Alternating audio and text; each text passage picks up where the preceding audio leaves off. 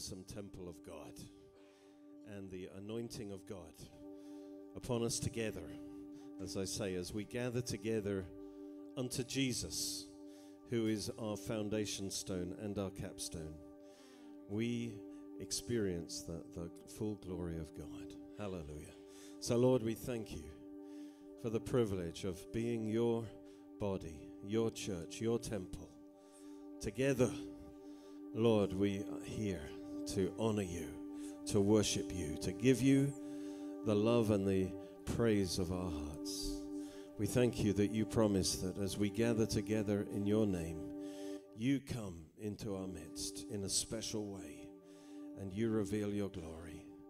Thank you, Lord, that where two or more are gathered in your name, whatever you ask, Lord, whatever we ask, you will do for us. Thank you, God, for hearing every heart cry, even as we worship you now. Hear the cries of our hearts. And Lord, thank you that you are quick to answer. And thank you, Lord, that you love us so much. Lord, thank you. We give you this next couple of hours. Lord, may, may they be life changing through your Holy Spirit. In the name of Jesus. Amen. Amen. Good morning, family. You all doing well? You know, as we sing this first song, I just want to encourage all of us to count our blessings, as it were. God is so good to us, amen? And He has done great things. So as we all stand up right now, I just want to encourage us, you know, let's just fix our eyes upon Jesus and just say, Lord, we are so grateful for your mercy and your grace. And just give Him thanks this morning.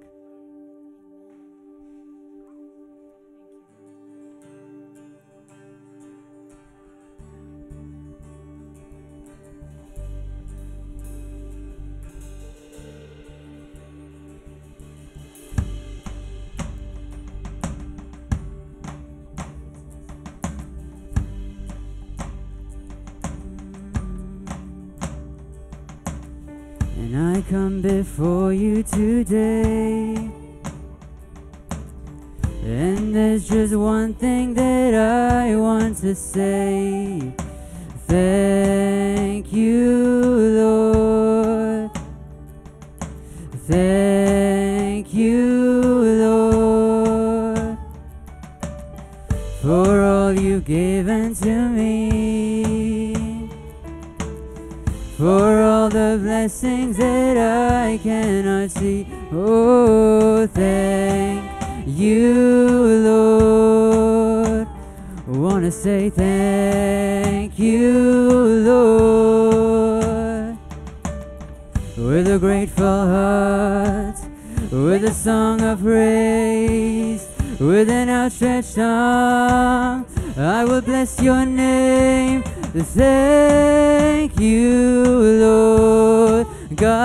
Just want to thank you, Lord.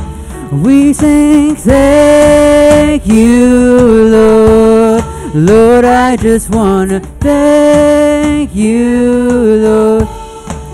Thank you, Lord.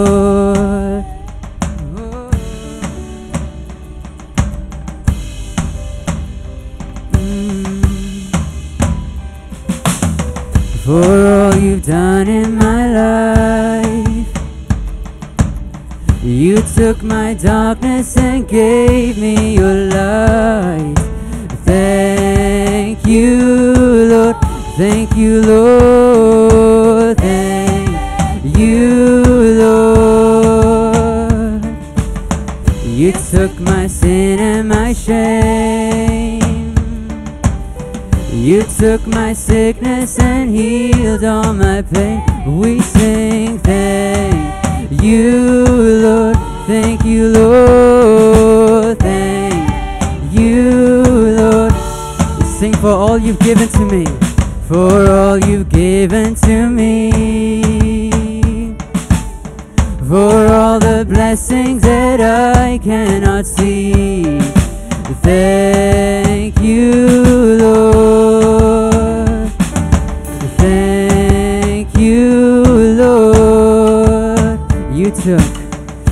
Took, my sin and my shame. You took my sickness and healed all my pain. Thank you, Lord. Thank you, Lord. Thank you, Lord. With a grateful heart, with a grateful heart, oh, with a song of praise, with an outstretched arm, oh, I will bless you with singing. Thank you, Lord. God, I just want to thank you, Lord. Singing, thank you, Lord. God, I just want to thank you, Lord. Thank you, Lord. Singing, thank you, Lord. God, I just want to thank you, Lord. Sing, thank you, Lord. I just want to thank you, Lord. Thank you, Lord. Oh, Lord, we want to say thank you, Lord, for your mercies, for your endless grace. Lord, you took my sin and my shame. Lord, you took my sickness and healed all my pain. Oh, so I just want to say thank you, Lord. Thank you, Lord, with a grateful heart, with a grateful heart, with a song of praise, with an outstretched arm. I will bless with a grateful heart, with a grateful heart, with a song of praise, with an outstretched arm. Oh, I will bless you with singing. Thank you, Lord. God, I just want to thank you, Lord.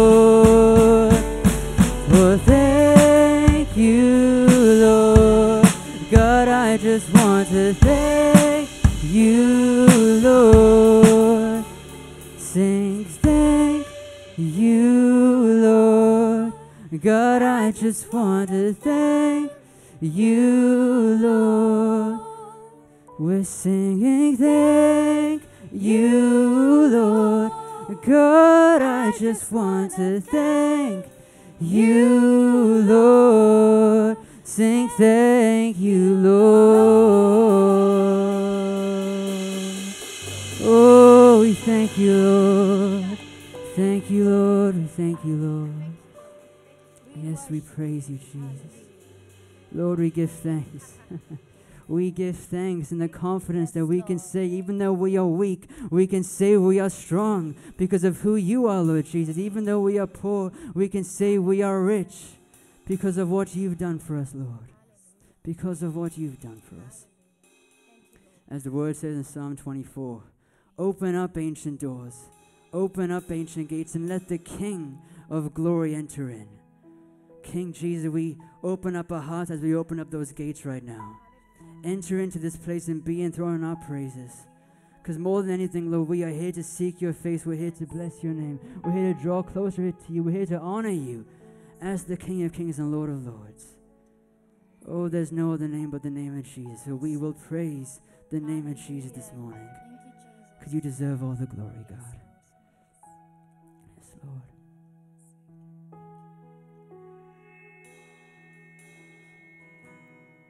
What a beautiful name it is. What a beautiful name it is.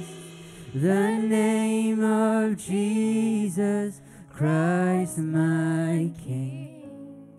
What a beautiful name it is. Oh, nothing compares to this. What a beautiful name it is. The name of Jesus.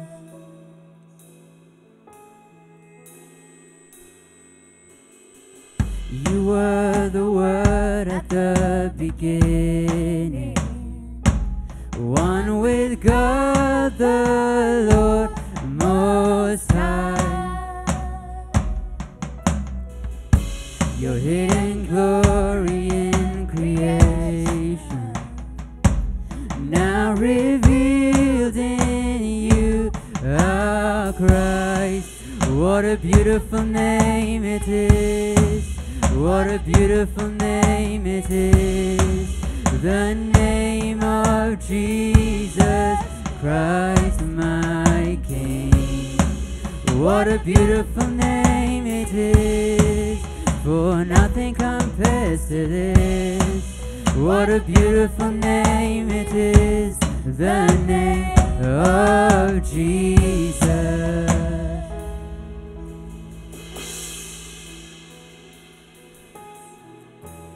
Didn't want heaven without us. So Jesus, you brought heaven down. Oh, my sin was great, your love was greater.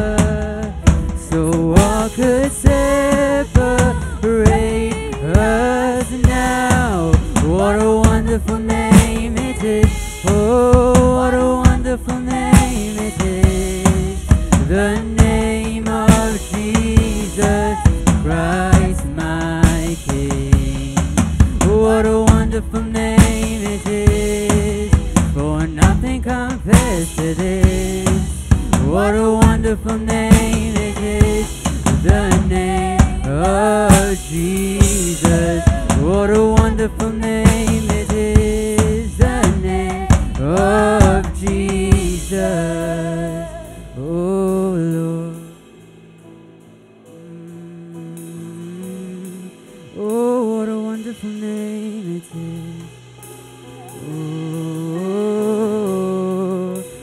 Death could not hold you. The veil tore before you. You silenced the boast of sin and grace. The heavens are roaring the praise of your glory. For you are raised to life again. Lord, you have no rival,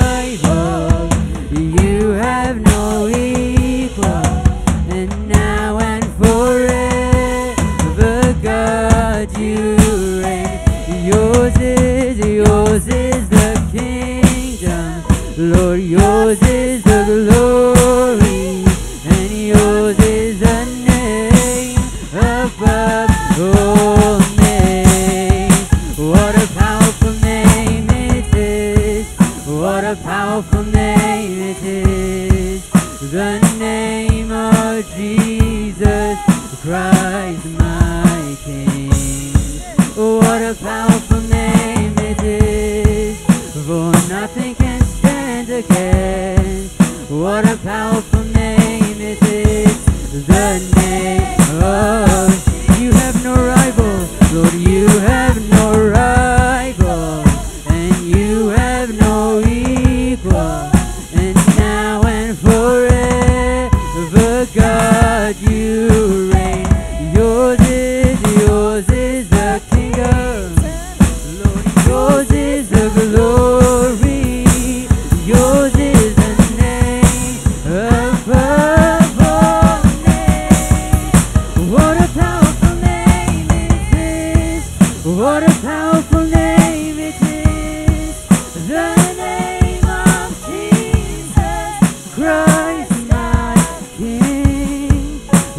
powerful name it is. For nothing can stand against. What a powerful name it is. The name of Jesus. What a powerful name it is. The name of Jesus. What a powerful name it is. The name of Jesus. Worship your name, oh God. Oh Lord, you have no rival. There is no one who can compare to your glory. No one can compare to your beauty, to your power, to your wonder, Lord. There is no other name So we lift up the name of Jesus over sickness, over shame, over disease, over pain. Oh Lord, we lift up your name, Jesus, because you are greater, Lord. You are stronger than sickness, you are stronger than pain. Lord, you are stronger than failure. God, you are greater than any mountain that we can face. For there is no name but the name of Jesus. So as we call upon the name of Jesus, we can take confidence in the knowledge that He will save. He will rescue those who call upon His name. For there is no name greater than the mighty name of Jesus. There is no name stronger than the name of Jesus. So call upon the name of Jesus. Call upon His name, I promise you, I promise you, you will be saved. He will not disappoint. He will not fail you. He will not let you down. We sing, what a powerful name it is. What a powerful name it is. The name of Jesus Christ, my King. What a powerful name it is. For nothing can stand against. Oh, what a powerful name it is. The name. Let's sing that again. What a powerful name. What a powerful name it is. Oh, what a powerful name it is. The name of Jesus Christ, my King. What a powerful name it is. Nothing can stand against. Oh, what a powerful name it is. The name of Jesus. What a powerful name it is. The name of Jesus. Oh, Jesus. There is no other name but Jesus. Oh, we sing, we cry out to Jesus over every situation. We sing the name of Jesus. Jesus, what a beautiful name, what a wonderful name, Jesus. Oh, Jesus, oh Lord, Jesus.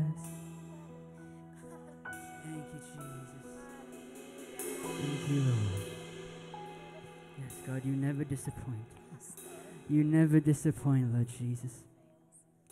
So, right now, this morning, oh Lord, Father, we let go of control. We relinquish the control of this morning, the balance of this morning into your hands. This service, this time of worship belongs to you, Lord. We surrender our hearts, we surrender our mind, our soul, and our strength, Lord God. Come and have your way. Yes, enter into our hearts, enter in through these gates and have your way, Lord Jesus. Those three words are our prayer this morning. Have your way. Have your way this morning. Have your way in our personal lives. Have your way in tomorrow, Lord. And whatever tomorrow brings, have your way in our jobs. Have your way in our schools. Have your way in have your way in everything we do, Father God, for pleasure. Have your way. Lord, have your way. Lord, have your way. Jesus, have your way.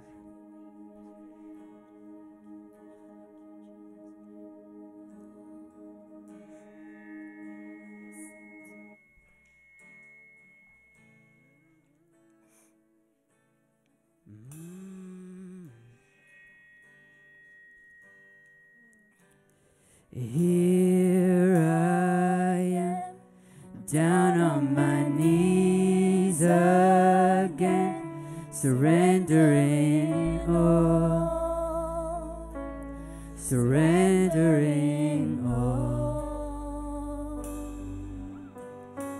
Find me here, Lord, as you draw me near.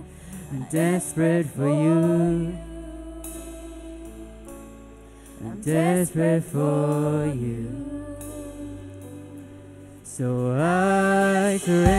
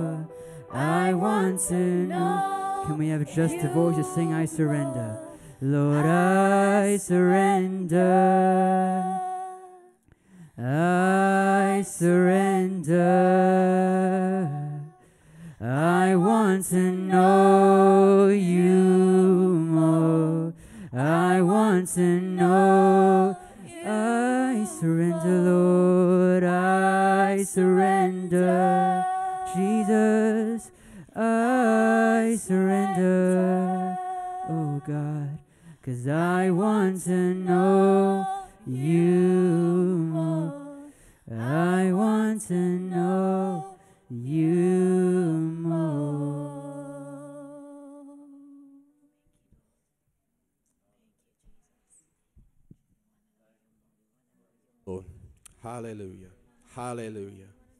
Hallelujah. Hallelujah. Let's just love on him for a moment longer. Hallelujah. Oh Lord, we praise you. Lord, we honor you today. We thank you for your goodness. We thank you for your goodness. We thank you for your love. Lord, we thank you for your name, which is higher than every other name. And you've given us that name. Hallelujah. Hallelujah. Thank you for your spirit. Thank you for the helper, the comforter, the one who leads us into all the truth. Hallelujah. Hallelujah. The one who quickens our mortal bodies.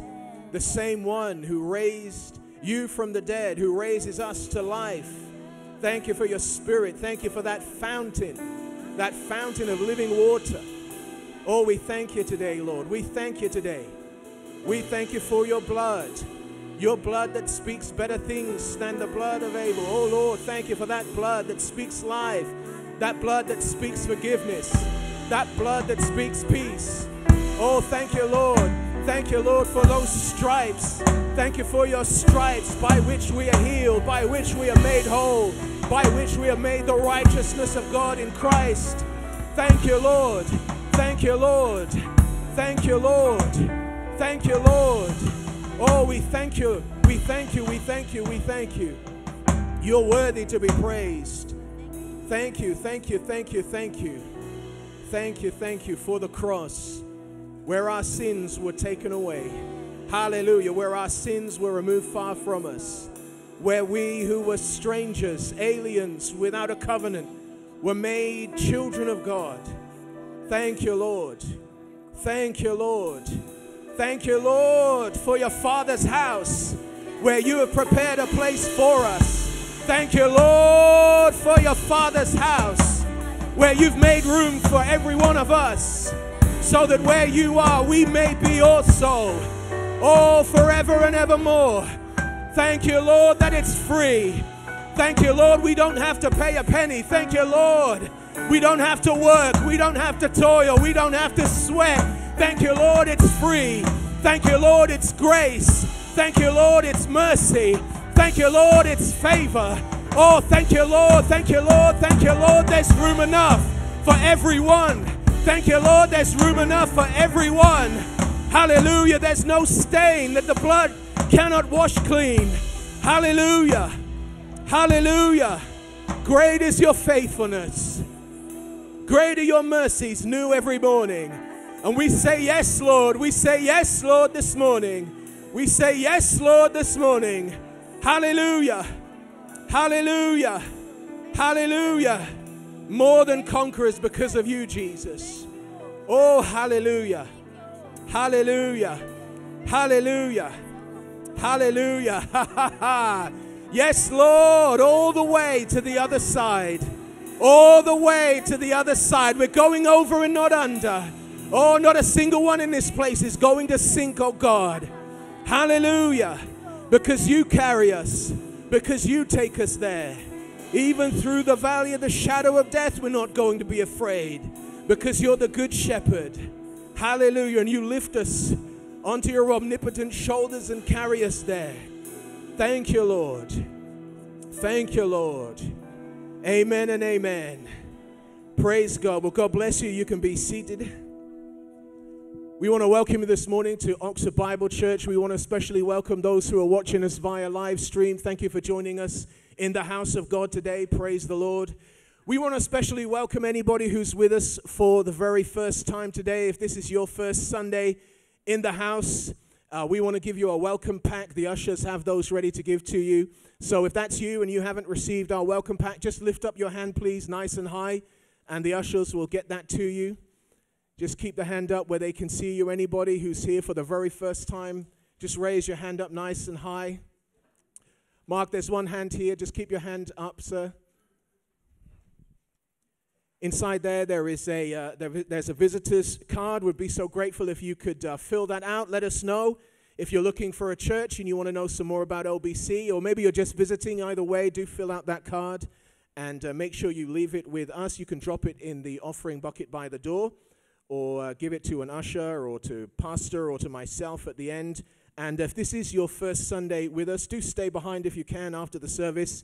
Uh, Pastor Derek and Hillary would love to meet with you. Praise God. Well, when you came in this morning, you may or may not have found something that looks like this on your seat.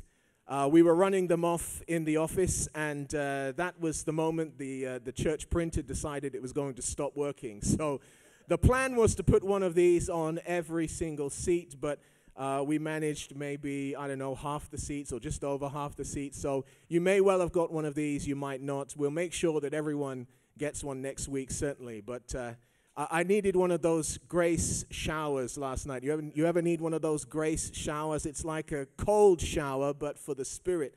In those times of frustration, when things don't quite go the way you want them to, and you can feel the, the Tabasco sauce rising, you know, that volcanic lava's coming up, and, and, uh, and you got to get in the you got to get in the grace shower because his grace is made perfect in our weakness. And, and boy, was I weak when that printer stopped working. oh, Lord, give me your grace because I, I planned it to go here, but now we're going over there. Hallelujah. Thank God for the grace shower. But uh, this, what this is, this is our new look, brand new uh, volunteers form. So, what this does is it uh, summarizes uh, succinctly all of the various ministries in the church, all of the areas where uh, you might be able to be a blessing in the house and serve the Lord here. So we want to make these available to you and ask you to, to take them away and, and prayerfully consider where the Lord might want you to serve in OBC. And if He puts something on your heart, if He points you in a certain direction, be obedient and take that step of faith and uh, fill out the form. Make sure you get it back to us and uh, you can, as I said, drop it in the, the bucket here by the door, the offering bucket, or hand it to an usher. Or you can give it directly to myself or Pastor Derek. But just make sure that we get it, and uh, we will connect you with uh, the relevant ministry leaders, get you on board. And uh, training, of course, in every department is available to help you uh, get into the role. But uh, we want to make these available, and, and they will every week from next week when the printer is working again, in Jesus' name. Uh, they will be in the lobby, so you'll always be able to get your hands on a form. But uh, as I said, do pray and see where God might want you to, to be a blessing in the house uh, so that, uh, you know, that the saying is many hands make light work. And, uh, and, and there's great joy in serving.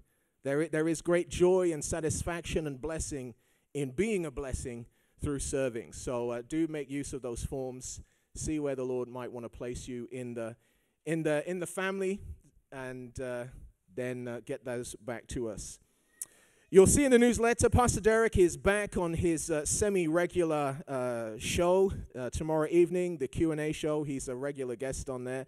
So tomorrow night at 10 p.m., he'll be live on the Q&A show, uh, answering the, the multitude of questions that come in from from viewers there, so you can watch that on Rev TV tomorrow evening. But do also pray for him because this Wednesday, he and Pastor Hillary are off to Salisbury, where Pastor Derek is going to be ministering at an all day conference uh, celebrating the feast of Pentecost. Of course, next Sunday is Pentecost Sunday. And so Pastor Derek was uh, with this particular group uh, last year. Was it for the Feast of Tabernacles last year?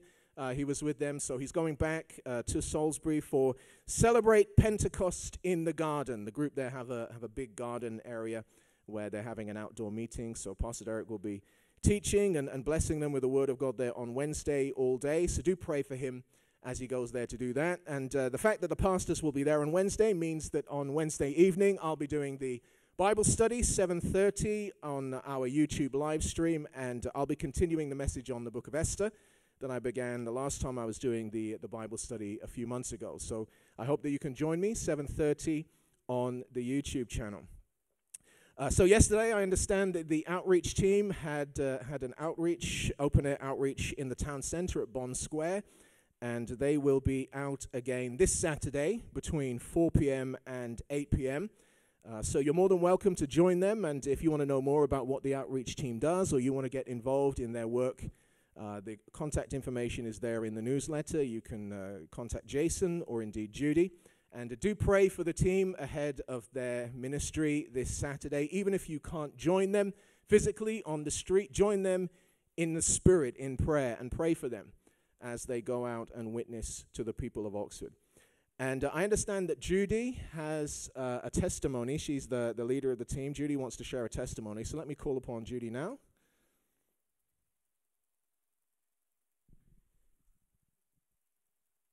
Good morning, family.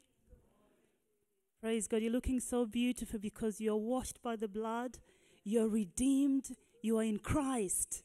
You are the holy generation of, of God. I just want to share a quick testimony. It's really, um, I think when Ifomina two weeks ago shared a testimony about his, his testimony about his family, it reminded me of Job, you know. But I had to watch live the whole program because I think it was Scott and the whole team.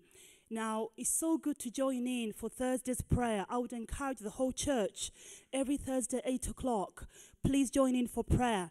So I emailed Pete, obviously, for you guys to pray for me. I was in sick room, shall I say. I had, it's not migraine, it's not a headache, it's a pain at the back of my head. You could imagine the strongest needle piercing your skin or piercing through you every single day. I had that for 10 days. Seriously. Now, I took the highest medication of strong painkillers that you, co-codamol, paracetamol, whatever it is. I took everything. It does not work. My husband said, uh, Why didn't you call the doctor? I said, I've called the doctor in heaven. Then I said, But yeah, I know, I understand, but call the, you know, natural doctor. I said, Okay. So I made an appointment to the doctor. I went to work. I had to take a whole week off. I took days off. I went to the doctor. They said this is very unusual. It's only one up to three people do have this. It's not a migraine. We don't know what it is, and no tests have actually been done. I said, okay. Um, he said he's going to give me um, um, it's a spray that you take, then you put through your nose. I said, okay. In my spirit, I was like, really, God? I said, okay. Anyway, to cut the story short, I'm still waiting for my prescription. It's been 11 days, 10 days in pain. The 11th day I'm healed. Who, by who? The physician of all physicians, the doctors of all doctors, with no medication, with no prescription, but the prescription of heaven. The prescription of heaven is worship, the word of God, scriptures of healing. I had all those within me every single day. My brothers and sisters, we have the physician of all physicians. We have the doctor of all doctors. When the natural doctors even up to down waiting for the prescription, there's a prescription in heaven that's available for us. That's the word of God. Praise be to God. I'm here to testify. Glory be to God. Jesus Christ is our healer. I encourage you, whatever you're going through every single day, there is storms, there is trouble, there is challenges. Look onto the cross. I told God to show me a vision. I saw Jesus' vision. Jesus, when he was crowned, it was thorns on his head. Boom, pain on the head, the whole head. And then he was beaten, beaten, oh, pain. And then his legs, the needle, the, the, the, the was it called? The nails. And then his arms. The whole body was in agony. And I'm complaining about my head. Look at the cross. The healer of all healers. Praise God. Praise God. Thank you. Praise the Lord. Judy, is this yours? Judy, Judy, is this yours? Thank you. Praise the Lord. Hallelujah. Hallelujah. Hallelujah. Now, last week was, of course, the car wash and uh, Super Church and Youth Church. The young people from those classes were outside in the sun washing your cars. And uh, I believe they raised uh, 270 pounds, which is which is pretty impressive, considering they weren't uh, they weren't charging that much per car. But uh, I was out there with them, and they were they were working furiously at cleaning your cars. And uh, I, I did tell them, I, I said, you know, we're going to probably make you do this again. You're, do, you're doing such a good job. We should make you do this several times during the year because that's the thing, you see. If you do a good job, we'll notice and we'll get you to do it again. But uh, I, I, think that uh, either Jose or Ronald is going to come up now and just tell us a bit about what happened last week and what's also coming up around the corner. Because, of course, all of these events are in aid of Jose's upcoming mission trip to, to the U.S. So whoever is coming up, Okay. Oh, okay. So Jose's obviously not made it here yet. He's on the way still. His spokesperson is here though. Angel, God bless you. Good morning, family. Yes, last week we did the car wash. I just wanted to get all the young people who participated up, and I see you, so come up. Come, come, come. Thank you.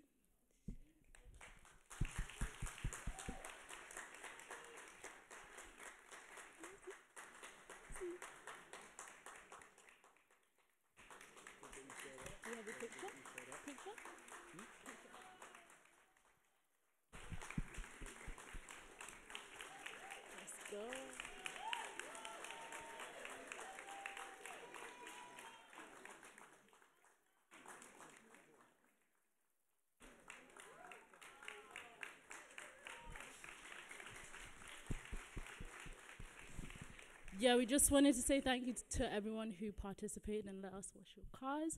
Um, as a family, everyone give somebody a high five. You did a good job. High five? High five. High five, high five. High five. Yes, we raised 270 pounds. Woo!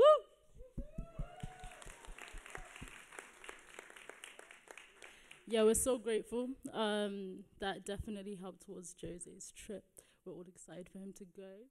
Um, we just wanted to also let you know that there's a basketball tournament coming up in two weeks on Saturday. There is a QR code in the newsletter for you guys to get your tickets. Everybody is welcome. But no, we just wanted to give everybody here a round of applause because you did a good job.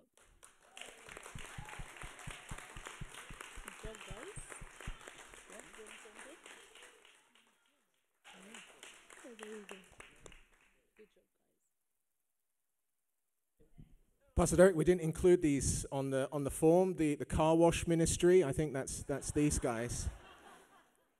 I'll, have to amend the form and, and get that on there. The OBC car wash ministry. Praise God.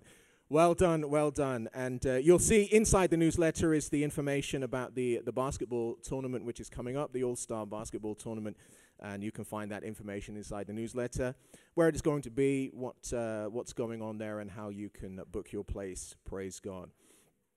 Now, coming up in about a month's time, or just over a month, on Sunday, the 3rd of July, uh, we'll have the graduation ceremony for all the uh, children of Kinder Church, Junior Church, Super Church, and the Youth Church who are at the upper age limit of those classes as they prepare to move on up to the next class. And uh, of course, the graduation ceremony is one of those things that COVID uh, prevented us from having for the last couple of years. So it'll be so good to have the, the actual graduation ceremony and not just put the names of the children in the newsletter. But uh, parents of uh, all of those classes uh, whose children are at the upper age limit and preparing to move on up to the next class, uh, be advised that uh, teachers and leaders are, are going to be contacting you in the next few weeks and helping to prepare you and your children for that move. But we're looking forward for the, uh, to that graduation ceremony. And of course, the 3rd of July is also International Day, something else that uh, COVID uh, got in the way of. And so it'd be nice to have, I hope we can remember how to do it because it's been a couple of years. I'm sure we can remember, right, how to do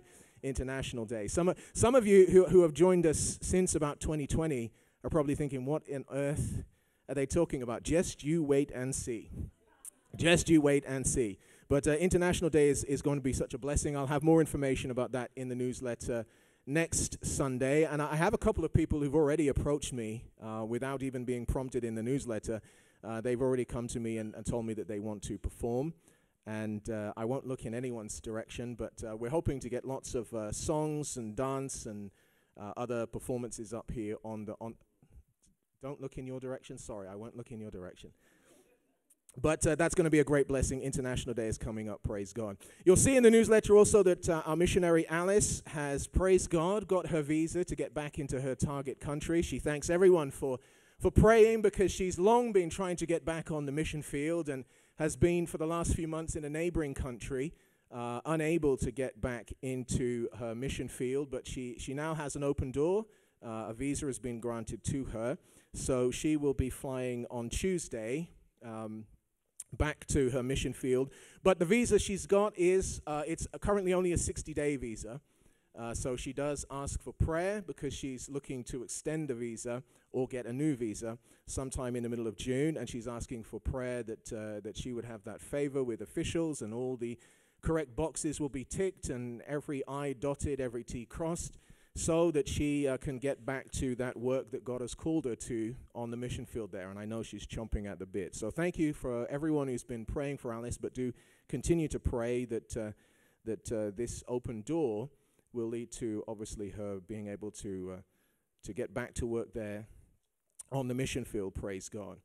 Now, before we pray, let me just point out that uh, yes, next Sunday is Pentecost Sunday, as I mentioned, and Pastor Hillary will be ministering the Word of God with a message called Pentecostal Prayer. You don't want to miss that next Sunday. Always love it when Pastor Hillary um, ministers the Word of God. I was going to say something now. I don't know if I was. Oh, okay. I've, I have permission to say it.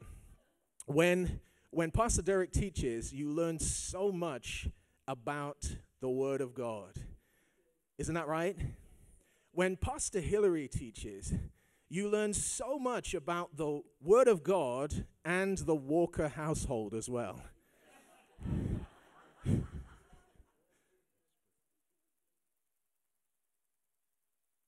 So, so I, am really looking forward to, to Pastor Hillary ministering next week. Praise God. Hallelujah. So before we pray, uh, I want to invite Susie. Is Susie here today? Susie Webb, are you here? Come on up, Susie. I know you wanted to share something about what the Lord has been showing you recently. God bless you. Good morning, lovely church family. Isn't it great to be here? It's so exciting to be in the presence of God. We, you never know what God's going to do, do we? I mean, He's so unpredictable. He's not like us. Um, um, Pastor Hillary asked me to come and share um, what happened three weeks ago, my experience of what happened three weeks ago, just before she prayed um, for us about the power of God coming. Anyway, I was standing sort of at the end of this first row on this side, and um, I just felt, you know, felt the presence of God coming, and it ca- sort of came from the back to the front through me, a bit like a wind, and um, and the, you know the presence of God was there. And at the same time, I had a, a simultaneously I had a, a, vision of lots of sparks coming out of the front of people's bodies. You know, some were as large as footballs, some were small, like foot, um, tennis balls. They were sort of like sparklers, so like little explosions coming out of the front of people's bodies. And um, at the same time, I just felt this. Um, it was as if all doubts fled all doubts fled. You know, all those things that I'd been, you know, that we've believing for for many years, those people to come to know the Lord, the family members, the friends, the acquaintances, the, the healings that hadn't happened yet, you know, all those things that, that we'd longed for, that we'd prayed for. In, in one moment, I suddenly found myself having that faith to believe that all those things were possible. And just it's just like um, doubt just fled and there was a real sort of power surge of the Holy Spirit at that time. And um, um, yeah, so I, I, you know, I felt that. Um, sorry, I'll just get my notes out for such a time as this. um, and I remember thinking, yeah, I remember thinking to myself, I don't actually recall that I've ever felt this full of faith before. So it was a, um, a momentary thing. And then Pastor Hillary stepped forward and gave her word. Um, so, you know, it was a wonderful thing. And also, I believe that Camilla also felt the same thing. So, we're on, you know, the, we've got the three witnesses here. um, isn't it wonderful when God's presence comes? Um, so, thank Him for that. Also, I had a uh, vision this morning. I saw a, a, a belt, a strong leather belt, unbuckling and I just believe that God is here to unbuckle things in our lives. Buckles are things that hold tight, that they restrict. You know, we can sort of use them to pull ourselves in and make ourselves look different. We can, they hold on things, garments that we might not want to be wearing um, in the spirit. Um, they're restricting and and they're also, you know, they're sort of holding us back. They might be holding us back from the things of God. So I just want to pray that all those buckles in the spirit are gone um, in the power of God. So, Lord, we thank you. We thank you, Lord, that you're a God who does wondrous things. We love you. We need you. We're desperate for you. Lord, we believe that that you want us to be free at this time, free of every hindrance, free of every restriction, free of every garment, whether it's discouragement or, or anger or pain or whatever it is, even, even if there are shoes that need to be unbuckled, shoes, big heavy shoes that need to be unbuckled because there are, there are sandals of peace underneath. Lord, we want to walk in peace.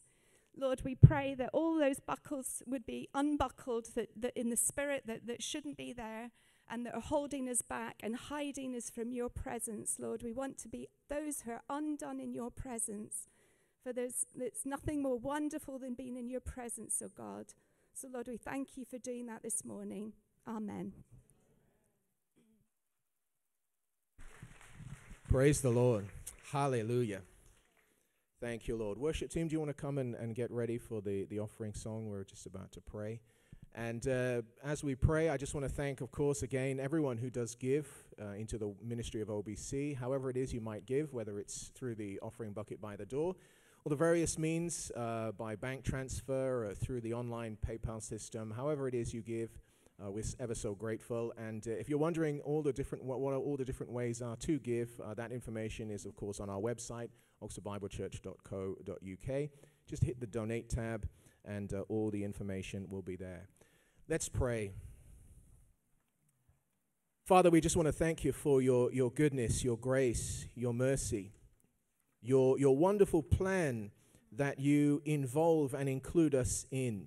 Thank you, Lord, that you have a, a calling and a purpose for each and every one of us. Lord, I just pray that you would, you would help us to walk in the fullness of what you're calling us to. And Lord, I want to lift up the, the outreach team to you and, and thank you for the work that they do.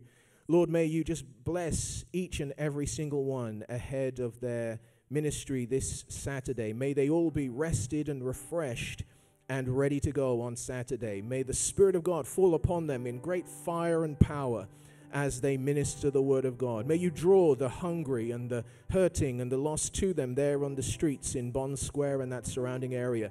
Give them a word in season to speak the word of God by the power, by the unction of the Holy Spirit. That, Lord, seeds would be planted, that lives would be transformed, that, that souls would be saved on Saturday. Lord, we just give you the thanks and praise that you protect and guard and surround with holy angels that team as they minister on the street. Keep them from evil, from all the devices of the evil one and may they see your glory in the midst of them as they minister in the name of Jesus. Lord, we thank you for Jose. I've just heard that he's booked his flight for the 16th of June. He's ready to go out there to the USA. Lord, may that same spirit, that spirit to evangelize, to minister, preach the gospel be upon him as he travels to the USA. May you do great and mighty things through him in that land. Lord, that you would use him for your glory, that Thank you, Father, that every need he has is met in you. And Lord, as he looks to you and, and travels out there to do your will, thank you, Lord, that you do miracles, miracles and transform lives. I thank you, Lord, that there are young lives in the USA. They don't know what is about to hit them, not because of Jose, but because of who lives in him. Thank you, Lord. Thank you, Lord, for that, that wonderful opportunity that you've given him to be a blessing in that land. May you take him there safely and bring him back to us safely. In the name of Jesus, we pray. And Lord, we remember Alice at this time. We thank you for granting her that 60 day visa that gets her back into the, the country of her mission field. Now, Lord, we just ask that you would continue to pour out grace and favor upon her. Give her favor, Lord, as she prepares to extend that visa. Give her favor because, Lord, you've called her to the work out there. You've called her to fulfill that, uh, that plan and purpose for her life in that land. So, Lord, Lord, we just ask that you would intervene, that you would touch the hearts of every official, everyone who has to rubber stamp, every bureaucrat, every box ticker. Lord, we just ask that you would touch the hearts of each and every one of them so that her visa would be swiftly granted to remain in that country and do that which you've called her to do. We thank you, Lord, for just giving her peace, peace of mind, peace in her heart that passes understanding, that she wouldn't be anxious at all as she goes back to that mission field. We just thank you for her life in Jesus' name. Thank you, Lord. And Lord, we remember all the young people in OBC during this exam season. Lord, all those who are preparing for exams right now, GCSEs and A levels, Lord, that your spirit would be upon each and every single one of them, Lord. That there would be no anxiety. You would remove it from them in the name of Jesus. Oh God, that there would be a spirit of excellence upon each and every single one of them, Lord, that all they've studied, all they've learned would come back to them in the name of Jesus. Lord, that you would help them in their revising, in their preparation, oh God. Lord, that they would sleep well every night and be refreshed every morning there to sit an exam. We thank you, Lord, that you are with them as they walk into the exam room and take their seat. Thank you, Lord, even as they pick up their pen, you are with them as they do that exam. Help them, guide them, Lord in the name of Jesus. And we thank you for good success in all of our children, all of our young people taking exams at this time. We give you thanks and praise for it, oh God in the name of Jesus. Lord, we remember all those in the house who need healing today, all those who need your touch, all those who need healing in their body. We've heard from Judy this morning that you are the doctor of doctors, the physician of physicians. There's no case that's too big or too hard for you, oh Lord. So, right now, Lord, as it were, we just reach out and touch the hem of your garment and thank you, Lord, for that transmission of healing power into each and every body that needs it, oh God. Those who are watching by live stream, heal the sick right now, Lord in the name of Jesus. Oh, hallelujah, hallelujah. Thank you, Lord. Yes, even as Susie was saying, the unbuckling, Lord, we just pray right now for that unbuckling of mental strongholds in the name of Jesus. Oh, hallelujah. Thank you for healing and deliverance today, my God. Oh, we give you praise and thanks. And Lord, we do lift up the government to you once again. We just ask that you would just heal our land, oh God. Heal this land. Oh, in the name of Jesus, Lord, that you would remove any minister, any official that is not in accordance with your will and your purpose and not right for this nation. Remove them out of the way. Lord, raise up righteous government. Touch those who are in power, oh God. Convict those who are sinning in power, oh Lord, that they might walk in a righteous way. We give you thanks and praise. And Lord, we do ask that you would pour out your spirit through your church in this land and pour out a revival in this nation once again, that you would turn hearts to you, Father, in the name of Jesus. And Lord, I want to thank you for every penny that comes into today's offering. Thank you, Lord, that you bless it, you multiply it, you use it for your glory, for the increase of your kingdom, for the teaching of the word of God, for the extension of your borders, the borders of your kingdom. We just thank you, Lord, and may each and every one who gives today be blessed and find their own barns, their own storehouses filled, their own cups overflowing. Thank you, Lord, for blessing today's offering. In Jesus' name, amen and amen. Let's all stand.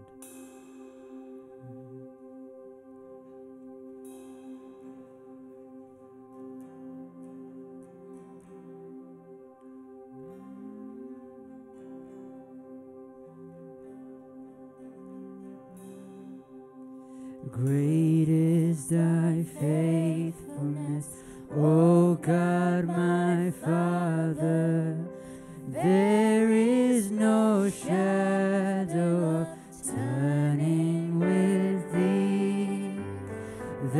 Changes not, thy compassions they fail not. As thou hast been, thou forever will be. Great is thy faithfulness, great is thy faithfulness. Morning by morning, new mercies I see. All I have needed, thy hands has provided. Great is thy faithfulness, Lord, unto me. Summer and winter and springtime and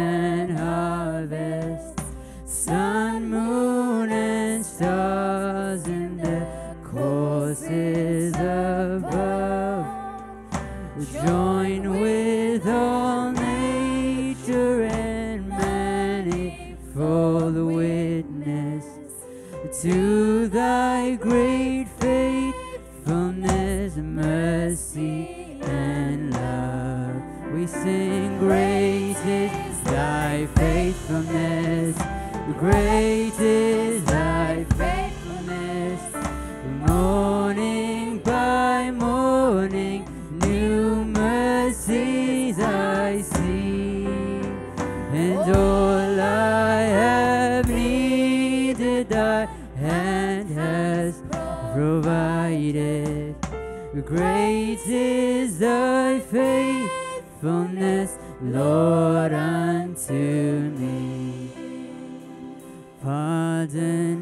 for sin and a peace that endureth. Thine own dear presence to cheer and to guide. Strength for today and bright hope for tomorrow. Blessings are mine with ten thousand sing, Great is thy faithfulness. Great is thy faithfulness. Morning by morning, new mercies I see. And all I have needed, thy hand has provided.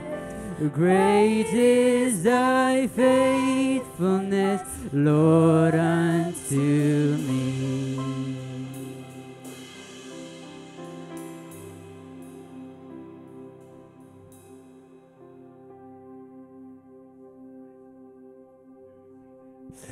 Very warm. Um, let me uh, release the children and the youth. Praise God for their various classes. We are in a series on sharing the gospel, and uh, we're, we're digging a bit deeper, really, to to really be equipped to share the gospel, particularly in our culture that we live in right now, which is being infested with um, an anti God, anti biblical worldview. And so, how do we handle that? Praise God. Well, today I want to start with a very fascinating scripture in 2 Thessalonians chapter 2, verse 10 to 12.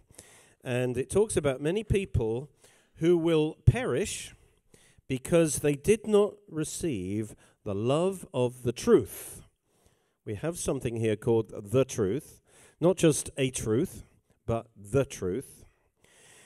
And it also sounds like it's very important that you love the truth.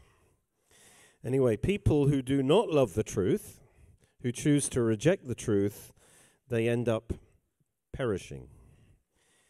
And it says, they did not receive the love of the truth that they might be saved. So this says that it's essential to embrace and accept the truth in order to be saved. And for this reason, God will send a strong delusion that they should believe the lie. Not just any old lie, but the lie. So there is the truth and there is the lie. Those who don't love the truth uh, come under the darkness and the delusion of the lie, that they might be condemned. So the result of embracing the lie is condemnation, is divine judgment. Uh, so this is serious business. This is the ultimate issue we're talking about the truth and the lie. And it says, again, it defines those who are condemned as those who did not believe the truth, but had pleasure in unrighteousness. So the key issue is here what is the truth? What is the lie? And it's important that we believe the truth and that we love the truth, that we embrace the truth. And um, it's, this is talking about the fact that there is ultimately two beliefs.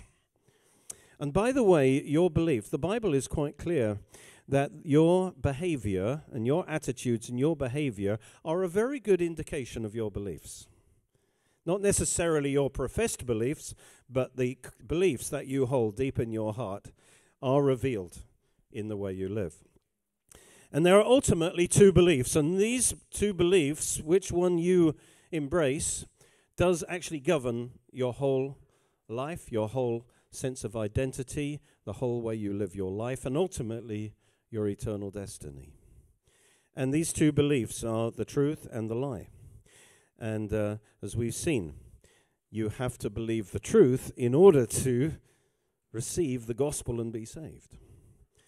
And so this issue is the fundamental issue of reality. And it can only be this the issue of origins. Where, where did this universe come from? Why does this universe exist? Why do I exist? You know, I'm sure in certain moments of your life that the awesomeness of your existence um, comes to your attention. Isn't it an amazing thing that I exist? Why is that? What caused that? That's the deepest question, the, the fundamental question. Why are we here? Number one, there is ultimately two possibilities. Is there a God who created us? Or are we and this universe just one gigantic accident that just happened? Everything follows on from that your sense of identity, the meaning of your life. And basically, there are only these two ways to think about yourself and about life called the truth and the life. So, the truth is that there is a God who is beyond this universe, He, he is transcendent and He created this universe, and He created each one of us. I love the truth. Uh, and this God, therefore, defines who we are. And He defines what is right and wrong. And He has the right of sovereignty and ownership over our lives. He has the right to command us. And He has the right to expect uh, our loyalty to Him and our love. He defines right and wrong, and therefore we are accountable to Him. One day, He will judge us. And so, He's given us free will, but don't misunderstand free will. Okay? Only God is free. Only God is absolutely free. Yes, He has given us the ability to choose which way we go in life, but it's not an absolute freedom because we are still under God's sovereignty. And one day he will hold us to account for our choices. So our freedom is not an absolute freedom. We, we will have to account to God for that freedom. It, it, that freedom is just a delegated authority. And so we will face our judge. And the Bible says it comes to everyone to die, it's appointed to die, and then judgment. And um, but we're not going to talk about the details of that today. So God, um, there is a God. That is the truth, according to the Bible. The alternative, and the only alternative, is that this universe is all that there is. And really, the alternative is atheism, which simply means there isn't a God, a personal God who created us. And, um, and the, this, uh, there are two versions of this atheism. There, there's one version which the devil probably is is, is, is amazed that he could get the human race to embrace materialistic atheism, which literally says that this material universe is all that there is. All right, and we are just here by accidental processes of random things. You know, um, that that's an incredible thing to believe, because the evidence is clearly against it. Clearly, our mi- even our minds are supernatural. Uh, your mind, you cannot explain your mind by random chemical processes happening in your brain. I mean, the more you think about that, the more ridiculous that is. Your mind is something super above the nature, all right? And, and you govern, uh, you, you have an ability to transcend nature with your mind, all right? There's no law of, of physics that tells me that I've got to suddenly move my hand out like that. All right? What caused that? It's something that was above the laws of nature that caused that. My mind, you see. So it's clear that there is a, something more than physical matter. We might call it mind or whatever. And so the other form of atheism actually is perhaps could be described as pantheism because it includes a spiritual dimension.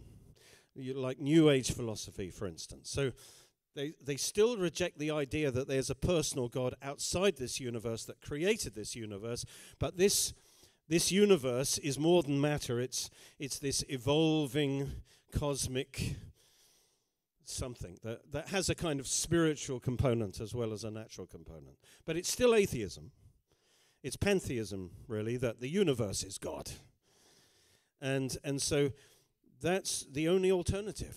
Either there is a God who is self existent, who created this universe, or there is a, uh, or this universe is God, if you like. And so um, this, this universe, but the Bible says, the fool says that there is no God, which means it's irrational. People do believe there is no God, but it's not rational, it's irrational. I mean, the ori- originally people who believed in uh, that the universe was it, all right, they felt obliged to believe that this universe is eternal. All right, because the alternative is that somehow by magic this universe came into existence out of nothing, and and th- there it was. In other words, it created itself, as Stephen Hawking said, which is absolutely irrational isn't it? it it's just kind of just magic. Oh, it just came to, to be. And, um, and so they believed in the eternal universe. However, that is now being disproved scientifically. It, it contradicts the laws of thermodynamics. It's accepted that the universe had a beginning. Many believe it was the Big Bang. Uh, as I say, I'm not going to talk about the details, but the important thing is it's generally accepted the universe had a beginning. And that clears, clearly points to the fact that Genesis 1 1 was right all the time. In the beginning, God created the heavens and the earth. The alternative is that this universe was, was caused by nothing, that out of nothing came something. That's irrational. You have to have a cause. We, the whole basis of modern science is to establish what causes different things and to understand all the causes and effects. That's one way of looking at science. And here they're saying something unscientific, something irrational. That the cause of the universe as a whole is nothing. It has no cause. It, it just happened. Again, it's, it's irrational. And so, of course, the idea here is that you have the un- this universe, and then over a huge period of time, by a process of unguided evolution, everything just happens. So the, the magic word that is used to describe everything is evolution. All right? The, the, you know, the chemical evolution created the first life, and then evolution produced from molecules to man. And um, I want to do a special on evolution in, in this series because it so pervades our culture, because it's been given as propaganda as if it's some kind of fact, some kind of that it's it's science. But I remember as a boy in school, I I didn't buy it. Uh, I wasn't a believer, but it just. I thought this is a very tall story to expect us to, to believe that random processes by themselves could somehow create something such as awesome as as me, you know. you know. Well, the, the more you study, not you too, by the way the more you study biology and, and you know the, the human body, you realize this is design on a, on a level that is just beyond our brain power to, to even comprehend. And the more they study even the simplest cell, uh, you know, it, it's, it, the complexity is, is immense. It's just mathematically impossible that life could happen, could originate out of nothing. It's, it's just it doesn't make sense. And yet we're expected to buy this propaganda. But I'm going to deal with that another time. But we could characterize the truth versus the lie as creation versus evolution. Okay? And um, you either believe that there's a personal God who created all things, or that you're somehow the part and product of an evolving universe. There, there, there are no alternatives to those two possibilities. If you believe the lie, then there is no meaning to life. All right? When you die, it's all over. And you will be forgotten. Oh, well, I'll live on in the memories of my family. They love to say that, don't they? He'll live on in our hearts. Well, they're, going to die. Eventually, you're going to be forgotten. I don't care if you're Ramesses the Great, you, you, you're going to be forgotten in the end. And no wonder a culture that promotes the lie. And the problem we have as Christians, we live, we are, as it were, a minority now, within a culture that promotes the, the lie throughout the culture. In the schools, in the media, you name it. The lie is everywhere. And if we're not aware of this, we, we need to be aware of this to protect our own hearts for a start. And this is what I'm getting to is that it's essential that we're equipped to share the gospel, to understand some of these things. Because you will be meeting people who are absolutely um, controlled by the, this lie. And that creates strongholds in their minds that blind their minds and make them incapable of understanding the gospel when you share it to them. So we have to know how to dismantle those strongholds to so that they can hear and receive the gospel. Praise God.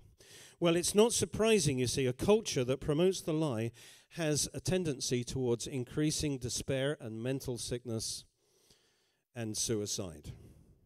Because we're telling people your lives are pointless. You're, you're nothing more than an animal. Uh, you're just a random fluke. Uh, your life has no meaning. You know, get what pleasure you can out of it, but basically it doesn't really matter. Well, what's to stop you commit suicide? If that's your belief, you see. And, and that's one effect of the lie. And it also means that there is no God, there is no absolute moral code, there is no life after death. There is no one who is going to judge you for how you've lived your life. And so, what are you going to do? Well, I think I'm going to do whatever I want to please myself and to have as b- best I can of the fleeting pleasures of life. I'm going to grab onto whatever I can. And so, this, of course, a society that promotes the lie gets increasingly immoral. Paul describes this in, in Romans chapter 1. And so we live in a culture that, in a way, has rejected the Christian faith to a d- large degree in the public sphere. And so we are seeing the downward trend that inevitably has to happen when you reject God, when you reject the truth. And so, if you believe the lie, you believe that um, You've got the right to do whatever you want with your life. Thank you very much. I'm, uh, it's my life, it's my body. I'll do what I want. See, when you talk like that, that might sound, you might get a hand clap if you're on the Oprah Winfrey show or whatever, all right? But that is straight from the pit of hell. That is the lie. You do not belong to yourself, you belong to God. God created you, God owns you. You are going to account to God one day. You know, the quicker you wake up to that reality and embrace that reality, the better it will be for you. Because God's a good God. Praise God. Well, the kingdom, if we're going to talk about spiritual warfare, this is the key issue in spiritual warfare. The kingdom of light is governed by the truth. In fact, there's the light, the concept of light and the concept of truth are pretty much the same. So the kingdom of light, the kingdom of God, is governed by the truth. The kingdom of darkness is governed by the lie. And so the key spiritual battle over every soul starts with whether they embrace the truth or the lie. And then, secondly, whether they embrace Christ or not. Only if they love the truth can they be saved through the gospel. If you think about it, if they are fully signed up to the lie, the gospel is meaningless to them. Sin, what are you talking about? Sin. There is no God. There is no righteousness. There is no sin. I make up my mind what's right and wrong. So when you talk about Jesus dying for their sins, it's foolishness to them, you see. So we have to be ready to give people the truth. before sometimes we could tell them that Jesus is the answer, we, we have to explain what the problem is. Last time we saw that there were two ways the gospel was preached in the book of Acts. All right? First of all, in Acts 2, 3, 13, for example, when Peter or Paul was preaching to the Jews, he preached in a certain way because the foundation had been laid. The Jews were prepared with the truth. They, they knew Genesis. We're going to say later that it's really the early chapters of Genesis that define the truth in, in this fundamental sense. And, and, and they had embraced that. So they were prepared, as it were, God had laid a foundation for the Jews to accept Christ. Because the, the, the gospel is the proclamation. You see, the foundation had been laid, and basically they were saying, explain the problem. Creation, man fell into sin, man is under the judgment of God, but God has not given up on the human race. In fact, he's going to send a Messiah, a Savior, who is going to be a sacrifice for our sins and who is going to bring salvation to the human race. And, and that was all the foundation that had been laid. And they were looking for the Messiah. And now the gospel comes along, the perfect finishing line, as it were, to say, the Messiah Jesus has come. He has died for your sins. He's risen from the dead. And now, if you turn to Him and accept Him, you will be saved. Hallelujah. And so, the sermons to the Jews were all were built on the scriptures, on the Old Testament scriptures, showing how Jesus fulfilled all the scriptures because they knew the scriptures. And, and so they should have seen that Jesus fulfilled those scriptures and then accepted Jesus. Now, again, if, if you, in when this country was more Christian, you could use a similar approach because people had a basic biblical knowledge. And so you could, you could pretty much accept the fact that they understood that there's a God. They understood that there are like Ten Commandments and that they've sinned, even on a basic level that there is a God who will judge them. And then you can preach the gospel and they will hopefully accept. Praise God. But now we have, if you like, a harder situation because we now live in a culture that, that does not accept the truth. All right? So, especially with younger people, unless they're brought up in strong Christian homes, they, they may not have a concept of the truth at all. But Paul had to deal with those people too, because in the Greek world, except those Greeks that, that s- loved the truth and gathered around the Jewish synagogues, in the Greek world, they also had this kind of philosophy, atheistic type philosophy. And so when Paul came to preach to the Greeks in Athens in Acts 17, he had to take a different approach. First of all, he witnessed in the marketplace you know, and he talked about Jesus and the resurrection, and they were thinking, who is this babbler? What, is, what is he talking about? Um, and, and, he found that it was foolishness to them. And um, that's why he says in 1 Corinthians 1.23, we preach Christ crucified. To the Jews, a stumbling block, but and to the Greeks, foolishness.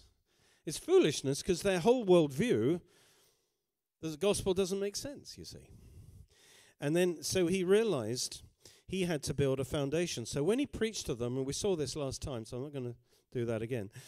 Um, when he preached on Mars Hill, he actually, before talking about Christ and the resurrection, he went back to the basics of the truth of God before going on to preach Christ.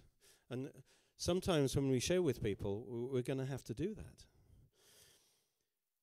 Because um, no longer can we be guaranteed that people have a concept of the truth because the truth has been suppressed in our culture increasingly and the lie has been promoted. And so we're going to have to know the truth and to share the truth with people, you see.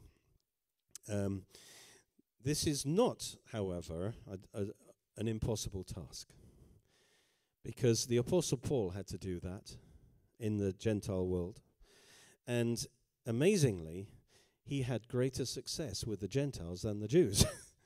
This is the paradox of what happened after Christ died and rose again. The Jews, who should have been the one to embrace the Messiah, who had been prepared as a whole, rejected. And yet, on the other hand, the gospel had amazing success over the last 2,000 years among the Gentiles. And they were the ones that weren't prepared. But nevertheless, when you share the truth with people, it resonates in their hearts. Because, as we're going to see, God has put the truth in every man's conscience. And God declares the truth in his creation. And the Holy Spirit is convicting them of the truth. And when you share the truth with them, something will come alive in their heart.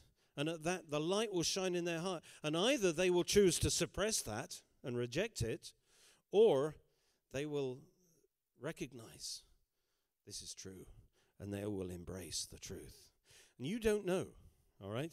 You don't know who's going to embrace and who's not. So we, it's, we shouldn't really say, oh, I'm not going to share the gospel to that person because he doesn't look like.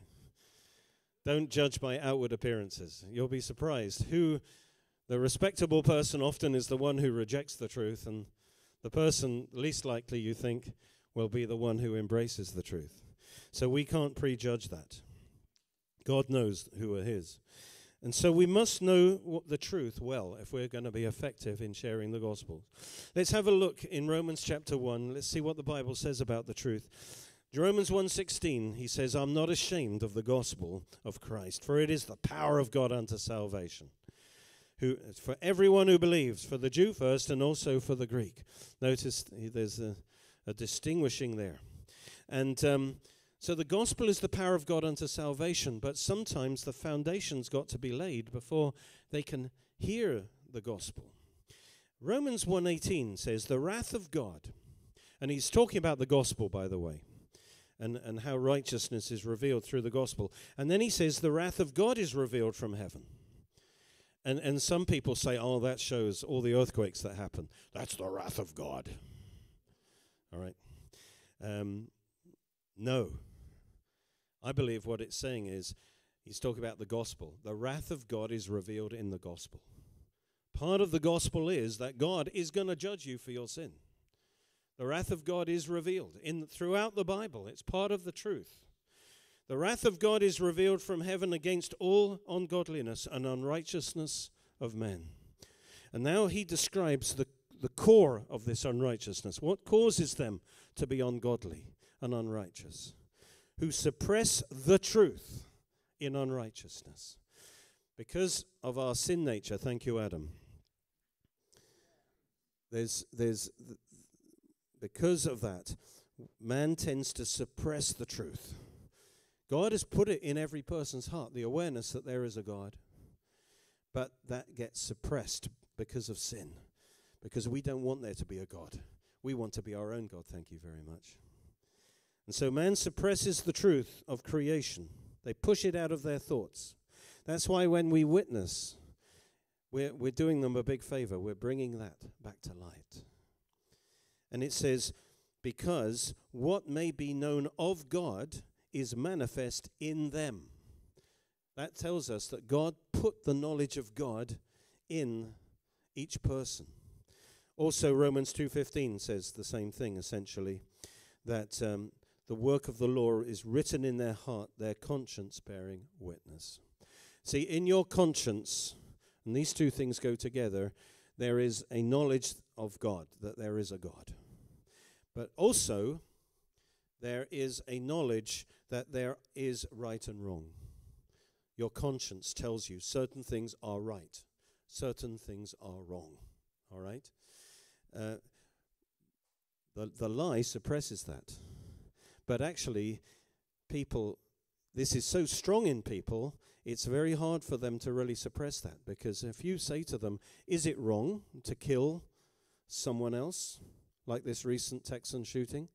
W- was that wrong of that person? Of course it was wrong. Well, if you're going to be consistent and you believe the lie, there was nothing wrong about it at all.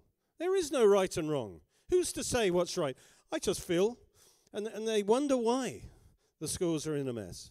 And they wonder why young men act like this. Well, they've been told all their life their life is meaningless and they can do what they like, and there is no God, there is no absolute right and wrong. So why not do what he did? There's no judge, there's no, you know. Why not go out in a in a blaze of glory, as it were? And and it's the product of, of the lie. And uh, but the truth of God is in there, and the knowledge that of a moral code. If you you can even kind of teach people about God from from the point of morality. Do they believe there is a right and wrong? Okay, yes. Where do you get that from? What's the basis for that? If evolution is true, and if all we are is the product of random processes, and and what is morality? Where does that come from? It's an imaginative thing. It isn't real. There are no absolutes, and yet deep down, people know there is an absolute right and wrong, and that you can help them see. Therefore, there must be a God. You can help awaken the truth in their heart simply from their instinctive belief in morality. And so he says, What is known of God maybe is manifest in them, for God has shown it to them. And then he says, God has also shown it to them in creation.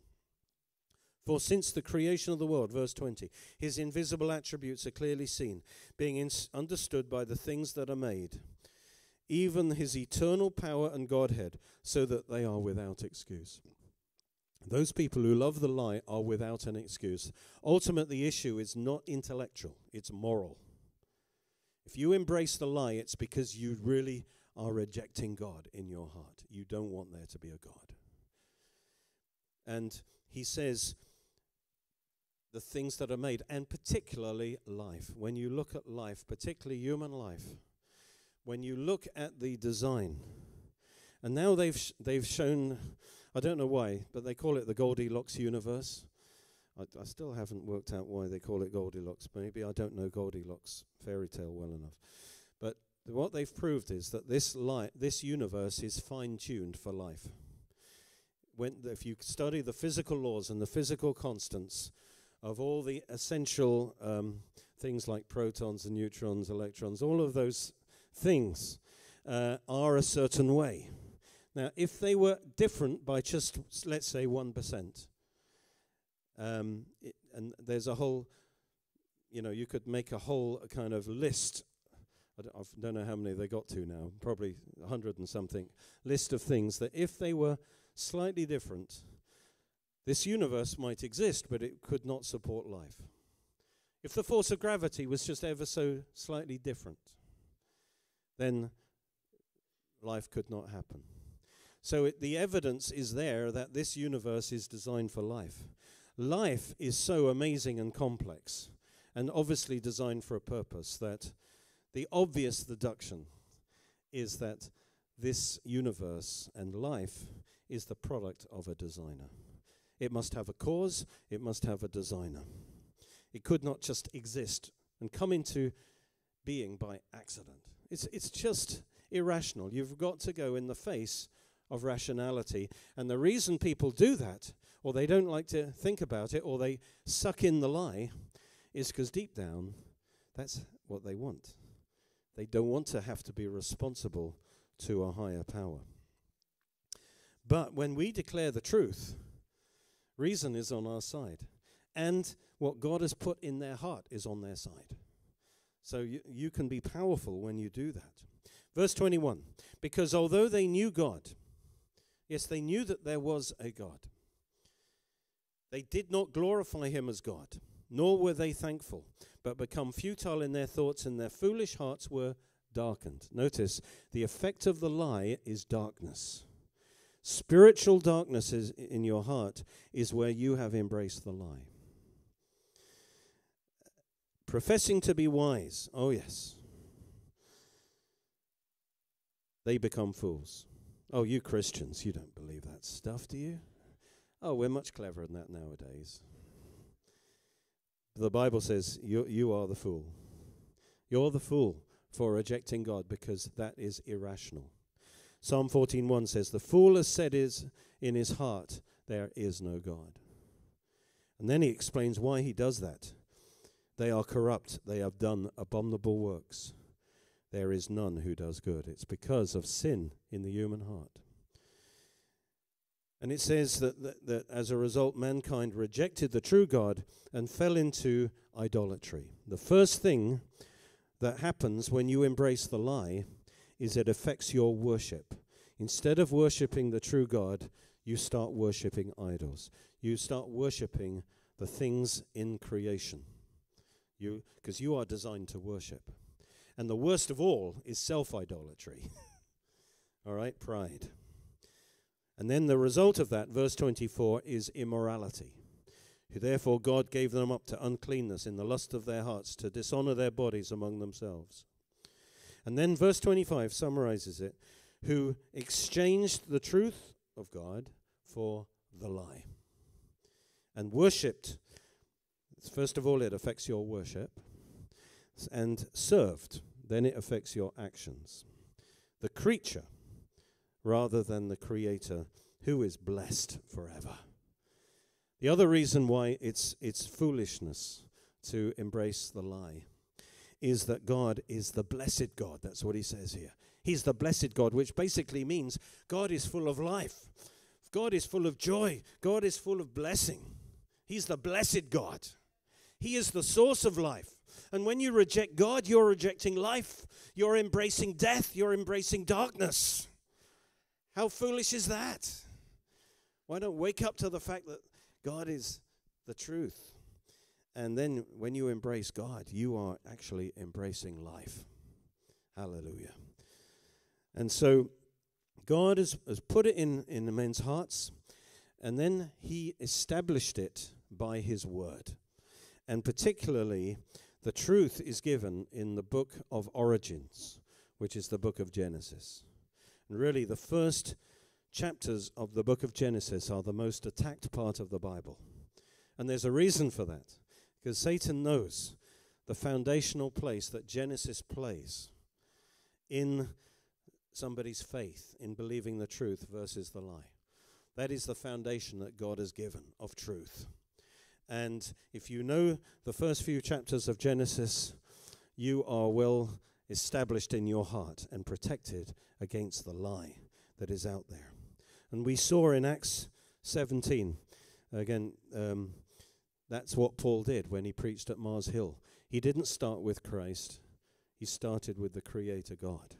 Let's quickly read that. Verse 23. Therefore, the one whom you worship without knowing, him I proclaim to you. Verse 24. God, who made the world and everything in it, he is the Lord of heaven and earth. He doesn't dwell in temples and so forth. And so he was giving them the truth. And the problem we have today, and the, and the reason why the church in the West is, is weak, is that it's thoroughly compromised by the lie. The so called theory, really a hypothesis of evolution, has been embraced by the mainstream churches and, and other churches intimidated by the propaganda, really, that in the world. And, um, you know, it is said, and I'm going to deal with this in a special talk because we need to be informed about this. You know, it is, it is said, well, evolution is a fact, or even it, that it's a theory, a well established theory or a fact. And you're told that so many times in school and so on you're saying, well, I suppose these, these people know what they're talking about. But it's sheer propaganda. It's not fact. It's not science. It's, n- you, it's never been seen to happen. You can't see it happening in the fossil record. It is just a hypothesis, and the reason that it is embraced as a hypothesis is that it's the only alternative to creation. And if you don't want to believe in creation, and what modern science does, it's rather cleverly done, naturalism is taken as a naturalistic um, basis, an assumption is we will only accept explanations that are entirely naturalistic. So we, we reject creationism out of hand because it's supernatural. And that's against the rule book that we've invented for, for, for science. So rather than following the evidence, I've been taught all about evolution. How does that fit with Genesis? You know, and and for for a, for a week or two, I was quite happy with this solution that apparently, You know, the apes evolved through this process and then eventually turned into something that looked like a man and a woman. And God said, okay, let's. And then God supernaturally gave Adam and Eve a soul, a, a spirit, and made them human. So he took the pre existing bodies of these evolved apes and added a soul to them. And that way they could kind of hold together. But, um, but and so you have theistic evolution. Uh, uh it, uh, eventually, I had to reject that because that's just not there in the Bible, you know. And it also creates a major problem about the character of God. It's really blaspheming against God because it is saying that God is cruel. Because the process of evolution, of survival of the fittest, of millions and millions of violent deaths being committed continually in the animal kingdom over millions and millions of years, this was God's design. And God used that process to eventually bring forth the human body. First of all, what does that say about the efficiency of God? My God says, God said, and it was done. He created each kind of animal and human beings by direct creation. And then they could multiply and so forth. Um, it's totally anti biblical. But the, the church as a whole has swallowed it. And yet, if you can't believe the Bible at its most fundamental level, uh, of origins, if you can't believe that God could just create this universe that he and this life in its forms, and you, you can't believe that, and you embrace the lie at that level, I'm not saying you're not saved, but I'm just saying you are thoroughly compromised in your faith because you don't even believe the Bible. How can you believe the rest of the Bible if you even doubt the opening chapter of the Bible? It, you, the church has become compromised by the lie. That is one problem. So, Genesis 1, um, very, very quick summary here of the truth, because I know we're doing, we're doing good. Um, Genesis 1 is clear, of course. In the beginning, God created the heavens and the earth, and God created all the different kinds of life forms directly. And finally, God created man in his image. All right? That is truth 101. Okay? Then in Genesis 2 is the direct creation of Adam and Eve, not by evolution, in the image of God, not in the image of apes. Reminds me of a story of a of a lady who um, she had a daughter, ten year old daughter, who came to her and said, "Mommy, I'm really confused. You are telling me that I am special, that I am created in the image of God." But Daddy says that we're just evolved monkeys. We're descended from monkeys and apes. You know, how, how can we bring these two things? What's true, you know? She, oh, and sh- she says, Oh, darling, that's, that's simple. I was talking about my side of the family. Your father was talking about his side of the family. well, then in Genesis 3, of course, we have Adam sinned. Here we have the origin of sin. And because we're all in Adam, because we're all descended from Adam, he brought the whole human race into sin. And you see that in Genesis 4, 5, 6, 7. Wickedness covering the earth. From that original sin of Adam, sin developed across the whole world. Even the ev- evangelical world, parts of it, is being infiltrated by the by the lie, and beginning. And one major sign of that is that they deny the, the that there was a real Adam. But as soon as you deny that, you're denying the gospel. But anyway, um, so it wasn't the other way around that there was death. Sin and death was actually what God used to create the human being the Bible says, no, that's the opposite way, because that's a slur on the character of God. By the way, the main argument against God is how come, if there's a good, powerful God, that there's so much suffering and evil in this world? If you embrace theistic evolution, you're making that worse because you're saying God designed it that way. But if you take the biblical position, the truth, then sin and death and suffering and all of it come in, not by God's design, but because man chose to rebel against God. Genesis 3 defines what sin is. It's not you slipping up occasionally. Sin is rebellion against God. And because Adam sinned and because we're in Adam, we were born sinners. Sin isn't just a superficial thing that we mess up sometimes. Sin is radically infected our nature. And, and we are sinners at our root. We are rebels against God. And now, when you hear the gospel, that is some seriously good news that God has an answer for that. But if you just think you're basically good because you believe the lie, I'm basically good and I'm, you know, yes, I mess up sometimes, no big deal. If that's your attitude, there's a bit of the lie is still in your heart. When you understand what sin is, it's rebellion against the most high and most holy God, then you realize the value of the blood of Jesus.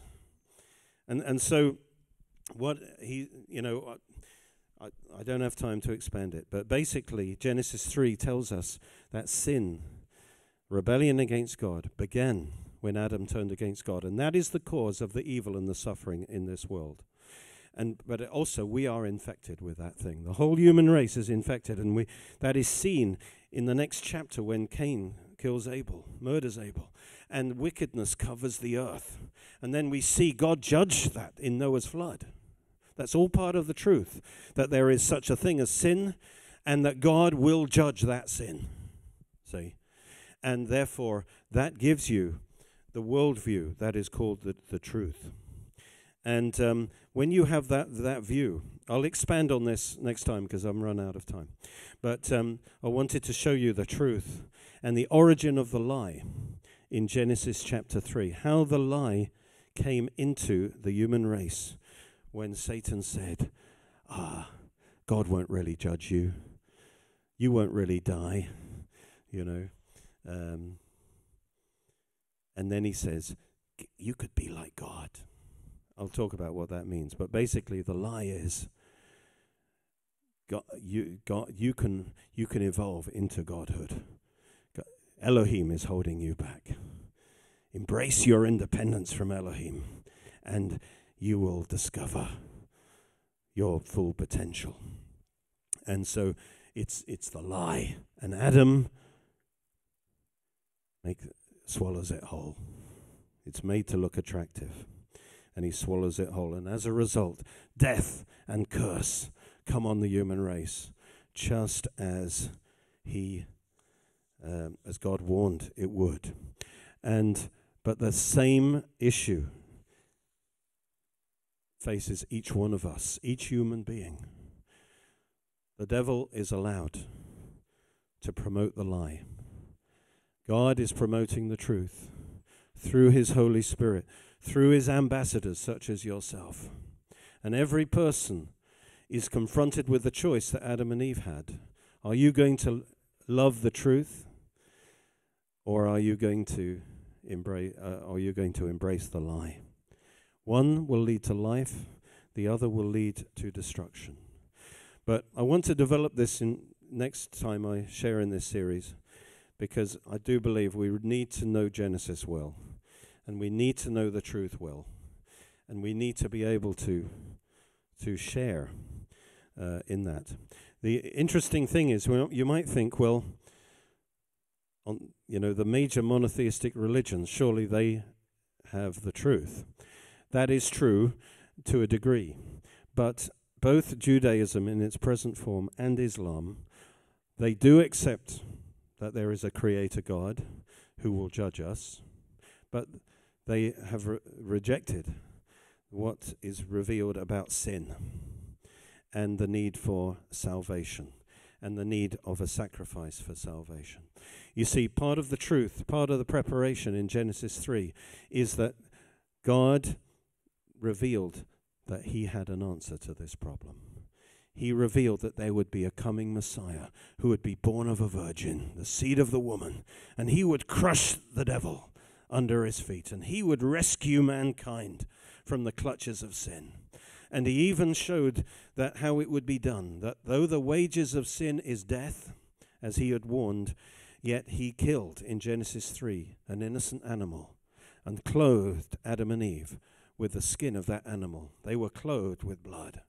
And what God was teaching them there is the wages of sin is death, but God is going to make a provision of an innocent substitute. Somebody can take our place and suffer the death that we deserve. And if you accept that death for you, you can be clothed in his righteousness, covered by his blood, and you can have salvation. And God instituted the sacrificial system throughout the Old Testament there to teach this very lesson that th- there is coming a deliverer who is going to die for your sins. Take the penalty for your sins. Hallelujah. And now we know who that is. His name is Jesus. Praise God. He's the fulfillment of everything. But the truth in Genesis is the foundation. If we don't understand the truth, we, we are not really equipped. Well, we need to know it for ourselves, by the way. Because if, if, if we don't know the foundation in Genesis, when the world assaults us with its viewpoints, a house that isn't built on a foundation is very weak. When the storm comes, it's going to collapse. So I, I want to spend a bit more time building that foundation that you know the Word of God. And you, uh, you know, but also it's important in sharing the gospel that you have a strong hand on the truth and you can share when you can see somebody isn't hearing you because they don't have a concept of the truth you, you know what to share with them praise god i'm going to finish with this scripture here in 2 corinthians chapter 4 it says even if our gospel is veiled verse 3 it is veiled to those who are perishing in which case the god of this world has blinded the minds of the unbelieving so that they will not see the light of the gospel of the glory of Christ. What's blinding their minds is the f- wrong beliefs called the lie. Then he, picks this up in 2 Corinthians 10:3 describing uh, verse 4. 2 Corinthians 10:4 says we are in a spiritual battle. We're God's soldiers in this battle. For the weapons of our warfare and our main weapon is the truth, the word of God. Our weapons are not of the flesh, but divinely powerful for the destruction of strongholds, of fortresses. What are these fortresses, Paul? What are these strongholds that the enemy has established in their hearts and minds? We are destroying arguments, logismos, reasonings, wrong convictions. They have to be destroyed. We have to destroy the lie. We've got to have the lie destroyed in our own heart, but also we've got to know how to destroy the lie. Destroying arguments, reasonings, and all arrogance raised against the knowledge of God, taking every thought captive to the obedience of Christ. Praise God. We need to recognize the truth and the lie and be on our guard because it's everywhere. The lie is everywhere in our culture. And we have to protect our heart against it and our children. And also, we need to fight for the truth. Praise God. The sword of the Spirit, which is the Word of God. Amen. Lord, thank you for the truth. We love the truth. Hallelujah. We're going to finish with Holy Communion in a second. Lord, we just choose to embrace the truth. Thank you for shining your truth upon us. We turn to the light, Lord. We embrace the truth and we reject the lie, the evil lie that we belong to ourselves, that we made ourselves somehow, that we're our own God. Oh, self idolatry. Oh God, we hate that lie. We hate that darkness. Oh God, we love the fact that you made us. You made us in a special way with special gifts, and we rejoice in who you have made us, and we give our loyalty to you, oh God. We thank you for making us strong in the truth, oh God, and empowering us to demolish the strongholds of the lie, Lord, in the people we meet. In the name of Jesus, we pray. Amen. Praise God. Let's worship the Lord.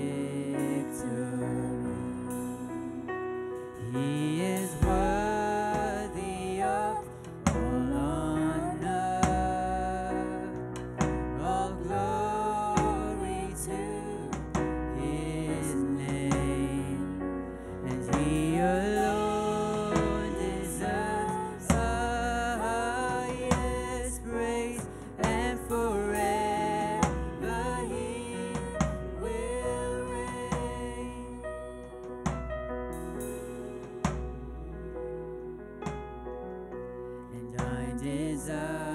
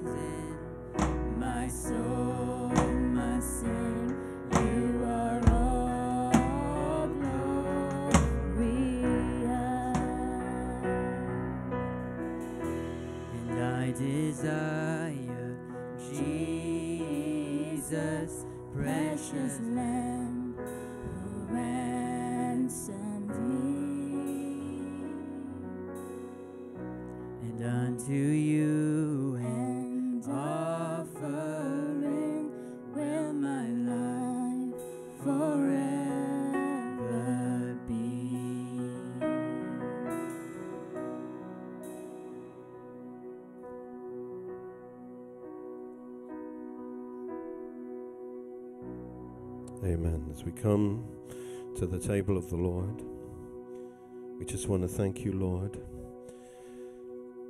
for fulfilling all the prophecies and all the promises from the beginning. You are that promised Messiah, the only one who can save us from sin and eternal death. Oh, thank you, Lord, that you were raised from the dead to prove you had won the victory. And you will raise us all from the death and give us a glorious eternity. Oh, thank you for loving us, Lord, even when we were your enemies, rebels. Oh, God, even for the times, Lord, that we embrace the lie. But thank you, Lord, for bringing us to the light, showing us the truth, showing us Jesus, blessing us with your life, your everlasting life. Lord, we thank you. We bless these elements that represent to us the body and the blood of our Lord Jesus Christ. Thank you, Lord. Thank you that as we eat of the bread, we believe we receive our healing. As we drink of the blood, we thank you for our forgiveness through the blood of Jesus and the cleansing from every stain of sin in our soul. Lord, cleanse us supernaturally, we pray, even as we eat and we drink, for we proclaim our faith in you, that we're trusting in you alone. Amen. Praise God. Well, you probably know how these things work. Do um, eat the, the wafer as it's passed round. Hold on to the cup. We'll all drink together after this song.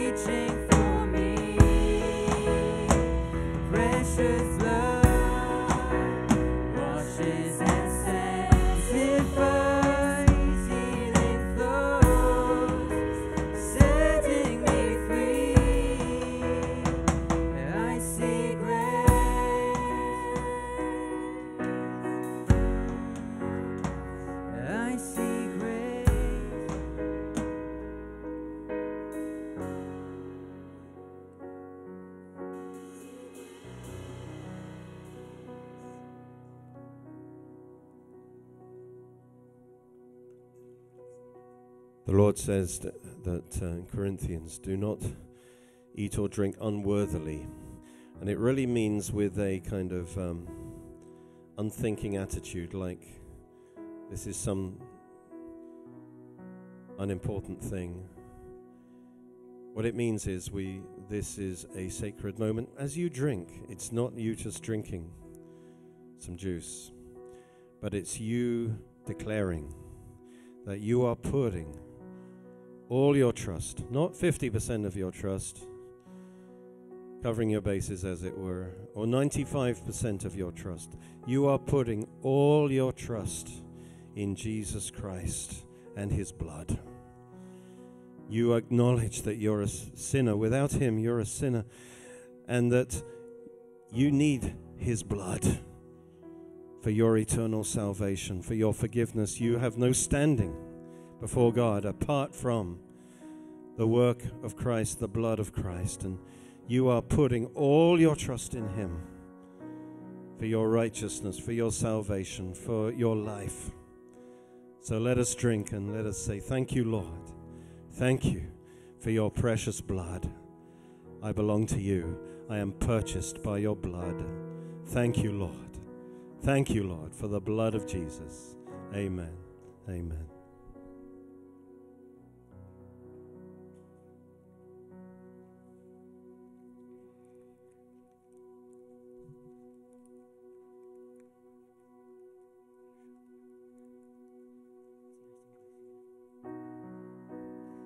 See you pierced, wounded for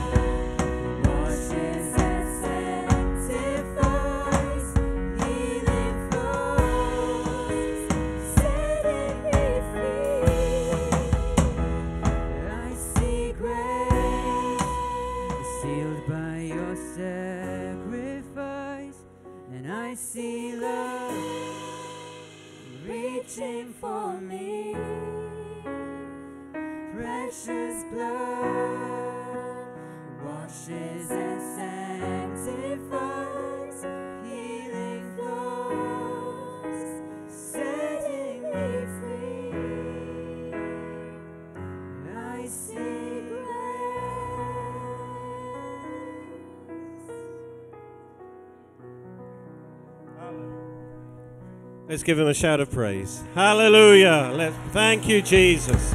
Praise God. Praise the Lord. Glory to God. Glory to God. Hallelujah. Blessed be the Lord.